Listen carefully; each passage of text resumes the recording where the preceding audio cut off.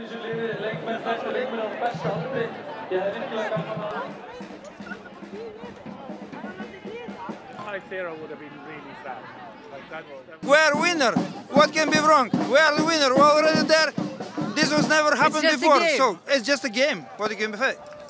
There's no no hérna, fighting and nothing like that. We are just 100% support our team and we are proud Icelanders.